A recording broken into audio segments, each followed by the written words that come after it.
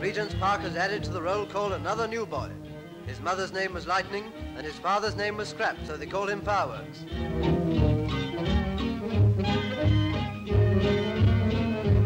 Fine piece of horseflesh, don't you think? Yes, afraid he's too close to the ground for fox hunting. Yes, might go flat hunting.